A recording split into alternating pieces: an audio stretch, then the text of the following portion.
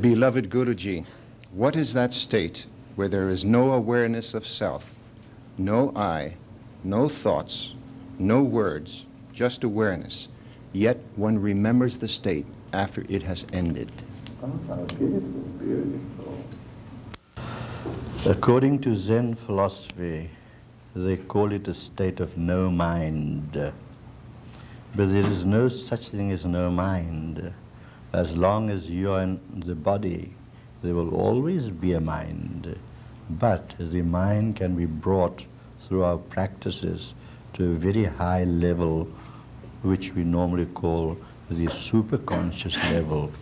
And from there, everything can be viewed.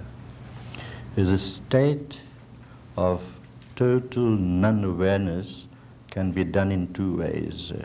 With a baseball bat or reaching that very high state of evolution. But that is not the end. The end would be when you even go beyond the superconscious state of mind. And that is possible while you're still in the body.